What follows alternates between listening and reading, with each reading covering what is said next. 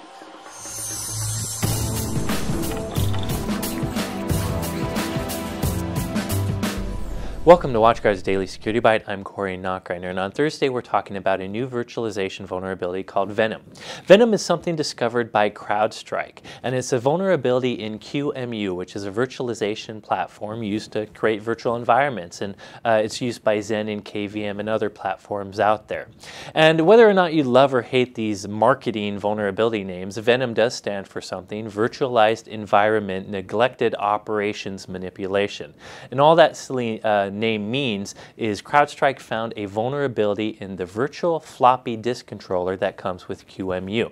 And you heard me right, I said floppy disk controller. Uh, even though we don't use floppy disks anymore, and you probably don't have any virtual machine where you've enabled a floppy disk, uh, there is a virtual floppy disk controller because QEMU is quite a, a old, uh, long-standing product. Uh, but anyways, there's a flaw in the code for this virtual floppy disk. And even if you disable this virtual floppy disk, risk according to the alert, you can still leverage this vulnerability. Now, essentially, it's the elevation of privilege vulnerability that can escape the confines of your virtual machine. So if I'm a bad guy and I have access to one of the virtual machines running on your host and I have administrative or root access, I can leverage this flaw to actually execute code on the host itself, which means I have access to all the virtual machines and even the host itself. It's a pretty severe uh, virtualization flaw, but not one we haven't seen in uh, other products before. So how do you fix this? Well, there are patches patches available. There's a QEMU patch, there's ones for Red Hat, KVM, and many of the platforms that use QEMU.